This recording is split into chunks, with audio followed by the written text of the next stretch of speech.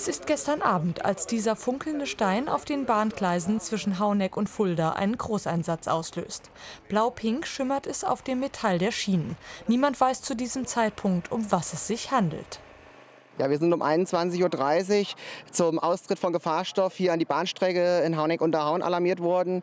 Dort ist äh, durch den Notfallmanager der Deutschen Bahn ein Gefahrstoff festgestellt worden.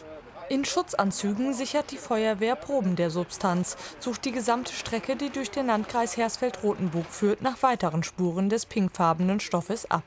Sogar im Bahnhof Fulda finden sie Rückstände. Die Strecke wird für den Regional- und Fernverkehr gesperrt. Ist der Stoff giftig oder sogar explosiv? Vor Ort kann das keiner der Einsatzkräfte wissen. Diese Proben werden nach Frankfurt zur Berufsfeuerwehr gefahren, um dort weitere Tests durchzuführen und den Stoff zu bestimmen. Um halb zwei in der Nacht Entwarnung. Der Stoff wird als ungefährlich eingestuft. Der Bahnverkehr kann wieder freigegeben werden. Offenbar habe ein Güterzug etwas von der Substanz verloren. Um was es sich dabei genau handelt, muss noch ermittelt werden.